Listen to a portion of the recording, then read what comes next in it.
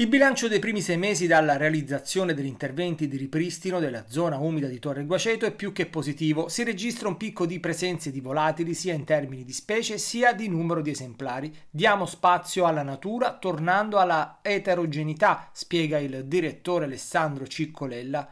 Il successo è frutto del progetto Interventi per la tutela e la valorizzazione della biodiversità terrestre e marina finanziato dalla Regione Puglia nell'ambito del POR 2014-2020.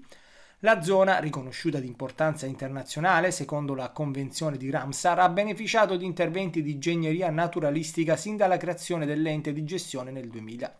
Gli interventi recenti, come l'ampliamento del chiaro d'acqua e la creazione di nuove aree di canneto, laghetti e acquitrini, hanno attirato diverse specie di volatili. In primavera, durante il periodo prenunziale, la zona si è riempita di anatidi e limicoli in migrazione verso il nord Europa. In estate la riserva ha visto la nidificazione di folaghe, gallinelle, tufetti e germani.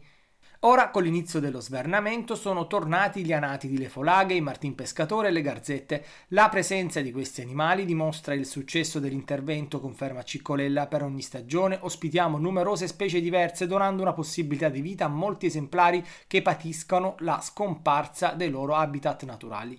La gestione corretta dell'ecosistema di Torre Guaceto è un processo continuo che richiede studio, interventi mirati e monitoraggio costante. Ciccolella conclude: Noi continueremo sul percorso che abbiamo tracciato già alla nostra istituzione.